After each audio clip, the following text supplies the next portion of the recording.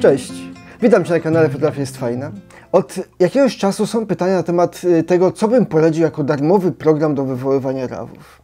Więc zrobiłem. Kilka miesięcy temu zrobiłem sobie listę programów, które są, które są polecane, o których ktoś tam napisał, ktoś coś powiedział i od jakiegoś czasu instaluję sobie takie programy i testuję je. To, to, no to, to nie jest tak, że można wziąć i zrobić to w dwa dni, bo tego się nie pozna i nie nauczy. Więc to już od dłuższego czasu testuję takie programy i dzisiaj postanowiłem wreszcie nagrać film, jaki moim zdaniem jest najlepszy program darmowy do wywoływania rawów. Zapraszam Cię na film.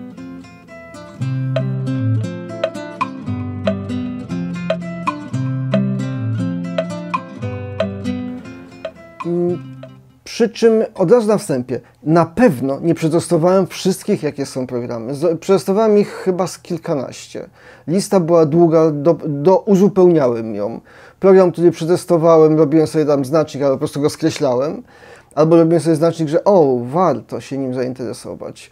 W efekcie na komputerze mam w tej chwili trzy programy darmowe do wywoływania rawów. Trzy, które zostały mi z tych wszystkich, e, które przetestowałem stwierdziłem, że pozostałe mm, nie warto się nimi zajmować. To znaczy, y, to jest tak, jeśli ja wezmę swój aparat y, fotograficzny, cyfrowy oczywiście, to on sam z siebie wszystko, co, co robi, to on robi RAW.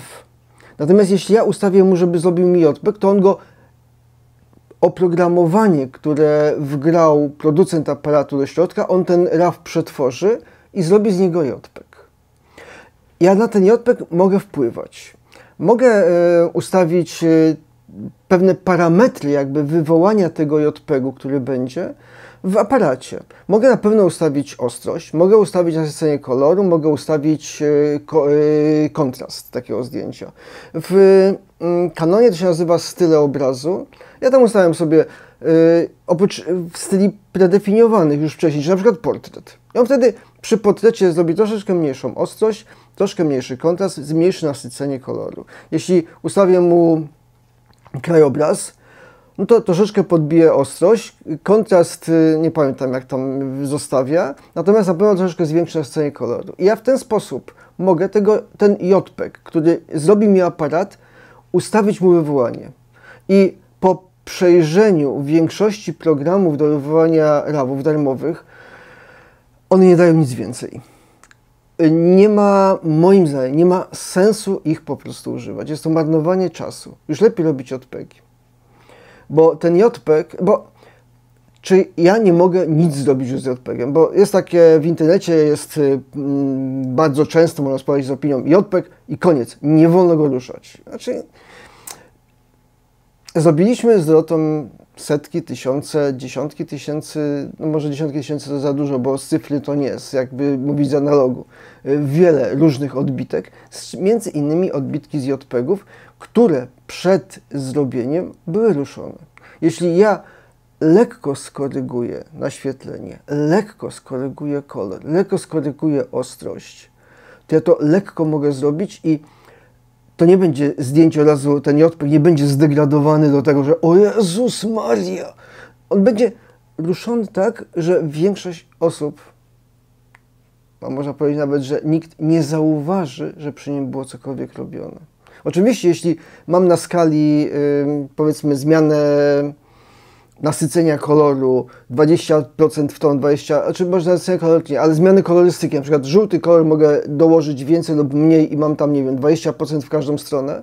Jak dojdę do końca skali, to wiadomo, że ten obraz jest do niczego, że on zostanie zniszczony. Natomiast jeśli ruszę go o 2, 3, 4, 5%, to będzie to niezauważalne.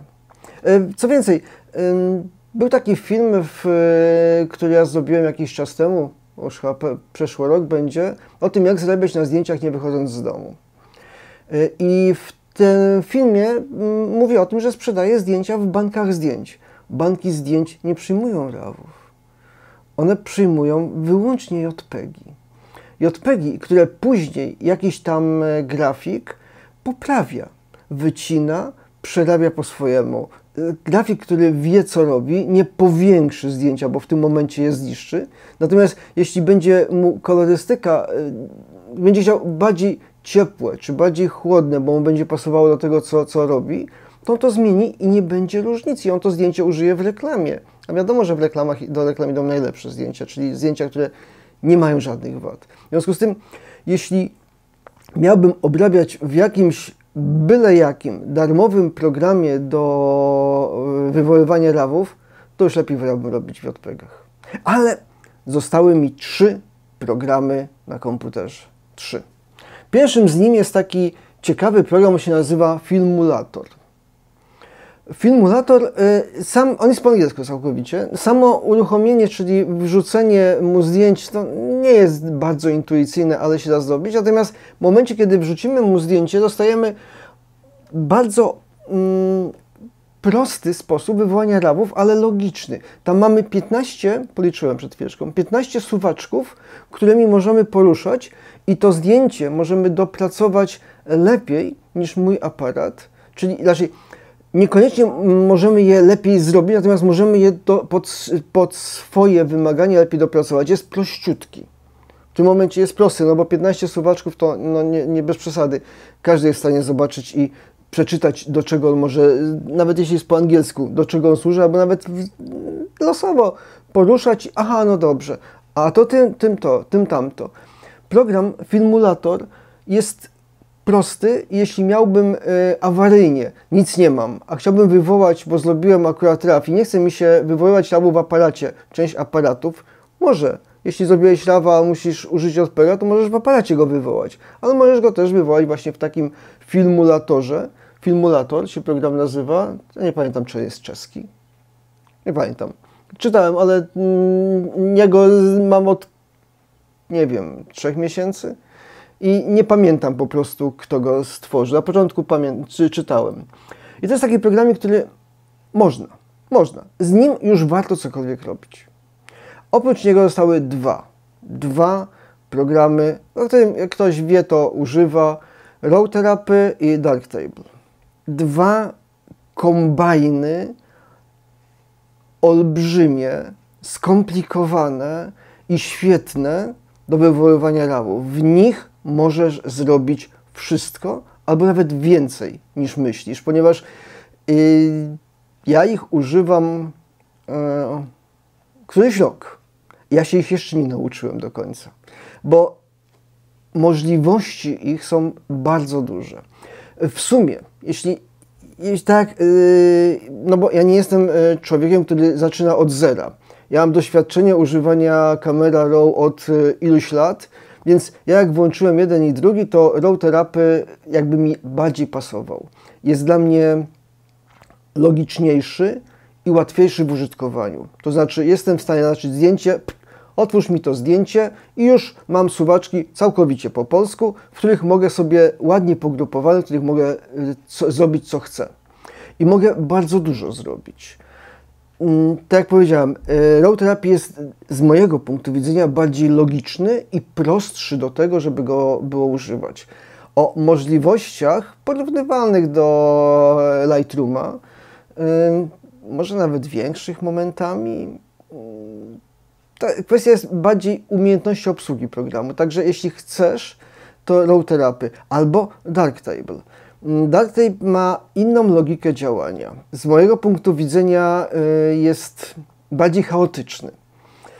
To nie jest wszystko tak, jakbym chciał, że no tu będę miał, to tu od razu znajdę. Potrzebowałem więcej czasu na to, żeby w ogóle zacząć w nim coś robić, bo pamiętam pierwsze wrażenie z y, Low Therapy.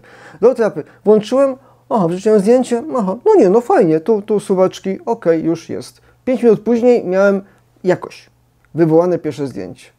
W Darktape wrzuciłem zdjęcie, w 15 minut później miałem wrzucone zdjęcie. Mhm. No to, ale jest, jest, ok, jest, ok. Dobra, te suwaczki tutaj, ale nie to, nie to, nie to. One są y, nieułożone w, lo, w ciągu logicznym dla mnie właściwym. To znaczy, ja y, jak wywołuję, to mam pewien standard, czyli pewien y, proces wywoływania, procedurę. To angielska to była procedura. Procedurę wywoływania, czy najpierw to, to, to, to, to, to, to, to, to, to, to, to, to, wyostrzymy i wyrzucamy zdjęcie. Znaczy ja przeważnie, przyznam się, nie wyostrzam zdjęć w Raw. Także nie, wy, nie wyostrzam w ogóle zdjęć w wywoływalce, ponieważ wywołuję zdjęcie pełne i nie wiem do czego ono będzie, ale dopiero wywołuję zdjęcie w momencie, kiedy ono ma iść do, znaczy, no troszeczkę może, do, do od, zrobienia odbitki albo do właściwego wykorzystania. Także procedura pewna do, jest i jeśli w e, road therapy ta procedura mi pasowała, tak, tak, tak, tak, tak, tak, tak, to było super. W Dark Type nie pasowała mi. Co jednak, jak zacząłem się w niego wgryzać, w Dark Type, wyszło mi, że jego możliwości są większe, tylko jest trudniejszy. Więc y, warto go się nauczyć. No, z takich rzeczy w Raw Therapy, które mi się podoba i których przewaga jest nad y, Adobe Camera Raw czy Lightroomem, jest to, że mogę sobie kliknąć jakiś element, znaczy kwadracik na, większy, na zdjęciu, zrobić z niego lupkę, rzucić ją o, na przykład tu na górę, pach, wrzucam sobie lupkę i to jest takie miejsce kontrolne. Klikam drugi raz, pojawia mi się druga lubka, powiększam do właściwego rozmiaru, wrzucam obok i później robiąc globalne zmiany na całości, widzę cały obraz i widzę na przykład trzy punkty kontrolne, które widzę, aha, tu są właśnie cienie, więc widzę, czy mi się cienie nie rozchodzą. Nie muszę za każdym razem podglądać, a nie, momencik, za mocno, bo muszę ten, za mocno po, pociągnąłem, e, rozjaśniłem i tam cieniach już mi się zaczyna robić źle. Więc tu mam cienie, tu mam światła, tu mam jakiś e, na przykład główny obiekt, to wszystko fajnie pasuje i mi osobiście e, raw therapy bardzo pasuje do tego, żeby wywo wywoływać, aczkolwiek, tak jak powiem, program czy jeden, czy drugi jest trudny, bo ma dużo opcji. A jak ma dużo opcji, no to musi być trudny do tego, żeby się go nauczyć yy, i go używać. Ale w momencie, kiedy go, te, jak z wszystkim, jak jazdę samochodem, no w tej chwili wsiadam do samochodu i nie myślę o tym, w którą stronę skręcić kierownicą i wrzucić biegi, ale kiedyś się musiałem tego nauczyć. Jeśli się nauczysz programu do wywoływania zdjęć, czy będzie to Raw Therapy, czy Darktable, yy, to za pół roku, za rok będziesz go używać odruchowo, bardzo dobrze. I nie będziesz, będzie z tym żadnego problemu.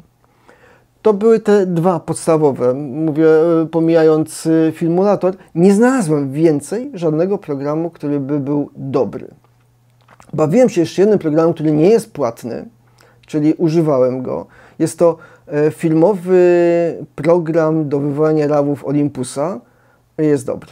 Ho, ho, ho. Jeśli ktoś ma Olympusa, jeśli masz Olympusa, to nie szukaj sobie po bokach. Możesz pobrać za pomocą numeru podając numer y, swojego aparatu, wersję aktualną do Olympusa, nie pamiętam jak on się nazywa, ale to, y, work coś tam. Jest, do, jest bardzo dobra. Jest bardzo dobra. Y, z innych, kiedyś miałem Nikona, ale nie pamiętam. Canona, mm, to tak, to on jest na poziomie bardziej tamtych, tych, co lepiej robić JPEGi. Mm, także mając Olympusa, popatrz na Olympusowy program, nie mając, mając inne e, aparaty, mm, zobacz Router Apple albo Darktable. To jest moja propozycja. Dobrze, dziękuję Ci za uwagę. Zapraszam do oglądania innych filmów, do subskrybowania kanału, albo możesz się dołączyć do patronów kanału, bo dzięki patronom, którym bardzo dziękuję za wsparcie, dzięki patronom filmy powstają, bo inaczej to by nie powstawały. Także dziękuję Ci jeszcze raz. Do zobaczenia. Cześć.